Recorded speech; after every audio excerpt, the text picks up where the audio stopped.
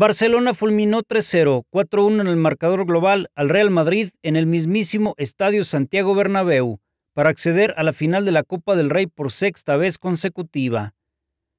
Luis Suárez rubricó dos de los tantos, al 50 y 73, y la otra anotación azulgrana fue con un autogol del zaguero merengue Rafael Barán al 69. El Madrid, con una pletórica actuación de su juvenil atacante brasileño Vinicius Jr., generó numerosas ocasiones que desperdició por falta de acierto e intervenciones monumentales del arquero blaugrana Marc-André Ter Stegen. Implacable en las suyas, el uruguayo Suárez no perdonó, incluida una definición a Lopanenka al cobrar un penal para batir al portero costarricense Keylor Navas para poner cifras definitivas a los 73 minutos. De esta manera, los catalanes irán por un quinto título consecutivo de la Copa del Rey. Para Noticel.mx, Luis Enrique Sánchez. ¿Sufre de algún dolor? Siéntase mejor. Bolitas de gel y cerámica que mantienen una temperatura óptima para un alivio más prolongado.